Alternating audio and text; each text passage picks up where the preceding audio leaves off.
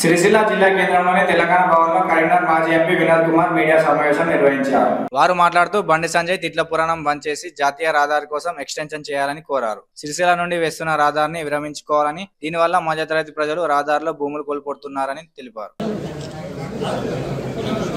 విభజన చట్టం ద్వారా ఈ రాష్ట్రం ఏర్పడ్డది ఈ రాష్ట్రం ఏర్పడే సందర్భంలో తెలంగాణ ప్రాంతం ఒక రాష్ట్రంగా ఏర్పడ్డ తర్వాత ఇక్కడ స్వాతంత్రం వచ్చిన కాంచెలి జరిగినటువంటి నష్టము దాన్ని పూరించడానికి ఆ రోజు ఆ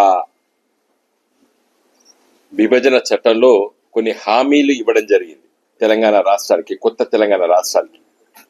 దానిలో రైల్వే లైన్లు జాతీయ రహదారులు కొన్ని కళాశాలలు కొన్ని యూనివర్సిటీలు సరే చాలా విషయాలు మరి దాంట్లో పొందపరచడం జరిగింది.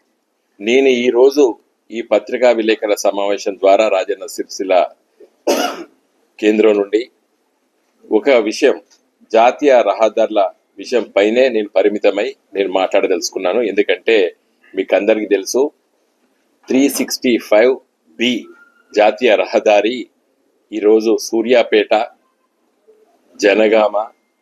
మీరు తెలంగాణ మ్యాప్ చూస్తే కోరుట్ల నుండి స్ట్రైట్గా సూర్యాపేట వరకు గీత గీసినట్టు ఉంటుంది. అది ఒక మ్యాప్లో చూస్తేనే అర్థమవుతుంది ఊరికే కోరుట్ల ఎక్కడున్నది భీమలవాడ ఎక్కడున్నది సిరిసిల్ ఎక్కడున్నది సిద్దిపేట ఎక్కడున్నది జనగాం ఎక్కడున్నది సూర్యాపేట ఎక్కడున్నది అనిపిస్తుంది. మీరు తెలంగాణ మ్యాప్ పెట్టుకొని చూడండి. ఒక తెలంగాణకు ఒక వెన్నుపూస లాగా ఉంటుంది. గా ఉంటుంది. కాబట్టి నేను ఆ రోజు దుద్దెడ నుండి సిద్దిపేట మీదికెళ్ళి సిరిసిల్ల మీదికెళ్ళి వేములవాడ మీదికెళ్ళి చందుర్తి కో మన కతలాపూర్ కోరుట్ల వరకు ఉంటే కోరుట్ల జాతీయ రహదారి ఉంది. ఏది ఆర్మూర్ టు మరి అది ఛత్తీస్గఢ్కి వెళ్ళే జాతీయ రహదారి. కాబట్టి దానికి కనెక్షన్ ఇవ్వాలని చెప్పి ప్రతిపాదన చేయడం జరిగింది.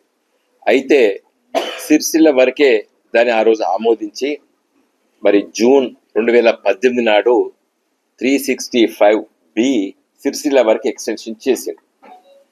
తర్వాత ఈ సిరిసిల్ల నుండి వేములవాడ మీదకి వెళ్ళి కూరుట్ల వరకు ఎక్స్టెన్షన్ చేయాలని చెప్పి లిఖితపూర్వకంగా నేను పార్లమెంట్ సభ్యుడిగా ఉన్నప్పుడు దానికి లేఖలు రాశాను.